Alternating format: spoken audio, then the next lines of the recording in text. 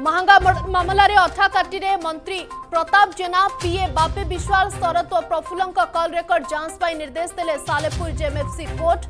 ସିଡିଆର୍ରୁ ମିଳିବ କି ମନ୍ତ୍ରୀ ପ୍ରତାପ ଜେନାଙ୍କ ସମ୍ପୃକ୍ତିର ସୁରାଗ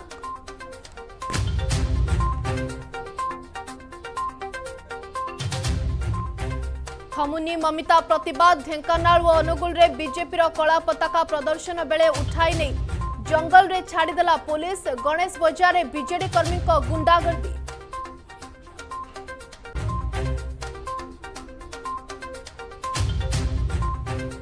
ମମିତା ସମୟରେ ଅଞ୍ଜନା ଅଡୁଆ ଦୁଇ ହଜାର ମସିହାରେ ବିଜେଡି ପାଇଁ ଅଗ୍ନିକନ୍ୟା ଥିବା ଅଞ୍ଜନା ଏବେ ବିରୋଧରେ ଧରିଛନ୍ତି ଝଣ୍ଡା।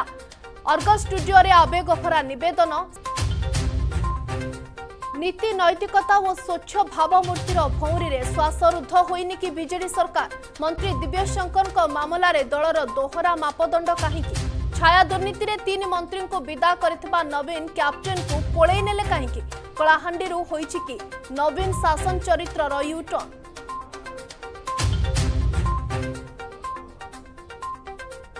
ରତ୍ନ ନ ଗଣିବା ପାଇଁ ମିଛର ସାହାରା ଭିତର ରତ୍ନ ଭଣ୍ଡାର ଚାବି ହଜିବା ମହାବିବାଦର ଧୀରେ ଧୀରେ ଖୋଲୁଛି ଅସଲ ଗୁମର। ସରକାରୀ ଆର୍ଟିଆଇ ତଥ୍ୟ ଓ ବାବୁଙ୍କ ବୟାନରେ ନାହିଁ ତାଳମେଳ। ରତ୍ନ ଭଣ୍ଡାର ନ ଖୋଲିବାକୁ ହୋଇଛି କି ଷଡ଼ଯନ୍ତ୍ର। ଧୀରେ ଧୀରେ ହଟୁଛି ଡୁପ୍ଲିକେଟ୍ ଚାବି ହଜିବା ପଛର ରହସ୍ୟ।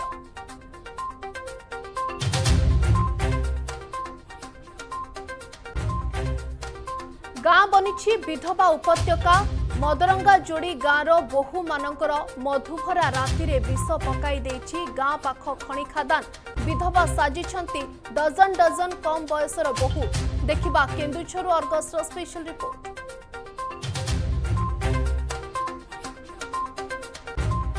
ଛଅ ଦଶନ୍ଧିର କୋହ କମିନି ହୀରାକୁଦ ବୁଡ଼ି ଅଞ୍ଚଳ ବିସ୍ଥାପିତ ଦୁଃଖ ଯିବ କେବେ? ଦୁଇ ହଜାର ବାରରେ ରାଜ୍ୟ ସରକାର କହିଥିଲେ ହୋଇଛି ସମସ୍ୟାର ସମାଧାନ କିନ୍ତୁ ଏବେ ଭବିଷ୍ୟତକୁ ନେଇ ଅନ୍ଧାରରେ କୋଡ଼ିଏ ହଜାରରୁ ଅଧିକ ବିସ୍ଥାପିତ ପରିବାର। ଦେଖିବା ଗ୍ରାଉଣ୍ଡ ଜିରୋରୁ ରିପୋର୍ଟ।